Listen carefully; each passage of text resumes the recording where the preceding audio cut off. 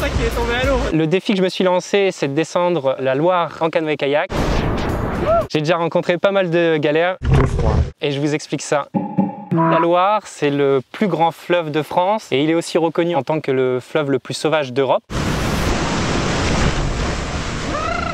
C'est 1020 km de la source à l'embouchure. Franchement, niveau paysage, ça me régale.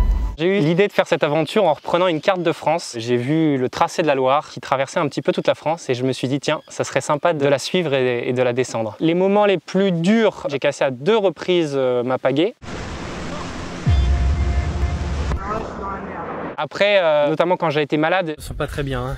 J'ai testé une ration militaire qu'on m'a donnée. Alors, pour ce matin, je vais avoir le droit à un petit muesli lyophilisé. Mais euh, elle était euh, périmée depuis en fait euh, deux ans. On m'y reprendra plus. Ça m'est arrivé deux, trois fois de complètement chavirer.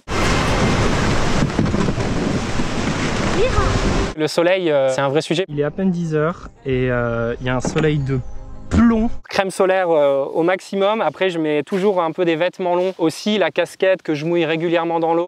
Ah allez, ça rafraîchit bien comme ça. Le sommeil, euh, c'est pas évident. Hein. Bon, j'ai pas dormi des tonnes euh, cette nuit. En plus, le chevreuil qui est passé là-haut hier est venu se venger parce qu'il a dû passer, mais genre vraiment à 3 mètres et il a gueulé à côté de la tente. On peut avoir l'orage, on peut avoir la pluie.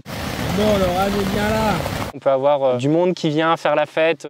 Eh ben, j'ai pas très bien choisi mon bivouac. Euh. Il y a des jeunes qui viennent de débouler euh, dans la maison abandonnée à côté, alors qu'il est minuit. Des bons souvenirs, il y en a tellement. Il y a un brocard. Niveau animaux, j'ai été servi. Hein. Je suis vraiment dans une partie où je peux observer plein d'oiseaux. Même des castors. Ok, il y a un méga castor. Il m'a pas capté. Ah si c'est bon, il m'a capté cool poteau J'ai des personnes qui viennent à ma rencontre au bord de l'eau pour me soutenir, pour m'apporter des choses à manger. Un abonné qui est venu euh, m'apporter des pizzas, c'était trop cool. Il y a vraiment des paysages hors du temps. On se croirait dans le, dans le Colorado quoi. C'est vraiment... Euh, c'est vraiment magnifique quoi. Et c'est là qu'on se rend compte qu'on n'a pas forcément besoin de partir euh, à l'autre bout du monde pour voyager et pas forcément avec beaucoup d'argent parce que moi je suis vraiment parti avec entre guillemets le strict minimum, des trucs un peu premier prix, des trucs que j'avais déjà. Alors voilà, j'étais en train de ramer tranquille. Et euh, bon bah, c'est le genre de truc auquel je vais me confronter de plus en plus. Retrouver euh, la déchetterie dans la, dans la rivière ou sur les bords de rivière. Quoi. À mon petit niveau, je ramasse euh, les déchets des fois qui, sont sur mon chemin, je les attrape et puis je les, je les mets dans la poubelle de la ville d'après. Il y a un putain de vélo de la ville qui a été foutu au fond de l'eau.